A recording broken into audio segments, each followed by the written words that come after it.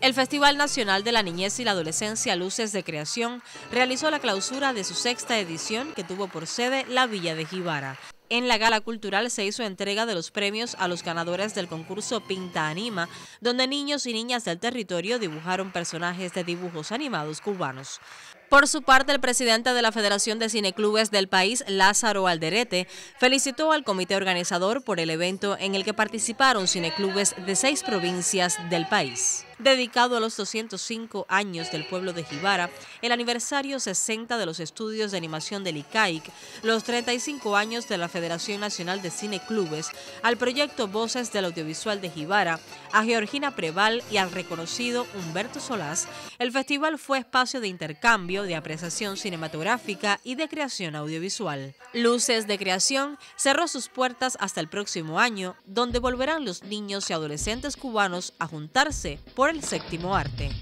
Desde Jibara, Holguín, Carlos Sánchez y Judy González, Sistema Informativo de la Televisión Cubana.